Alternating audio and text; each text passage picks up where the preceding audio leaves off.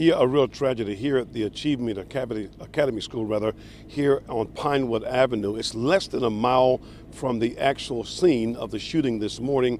And it's also where students and staff members are mourning the death of a classmate.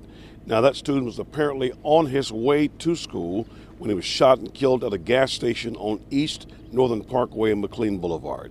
We're told Achievement Academy is an alternative school. A little more than 200 students attend here. It's believed the murder victim was at the gas station with some of his classmates for a reason. That gas station also serves as a bus stop for some students who attend Achievement Academy. And so we are devastated again that another one of our students was shot and killed this morning. Um, and the fact that also, because other students were there, because it served as a bus stop, we have some students who are traumatized by seeing that.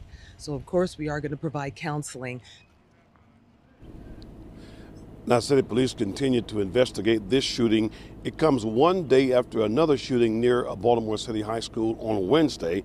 Now, we're told that police continue to investigate what happened. I'm Tim Tooten live in Northeast Baltimore.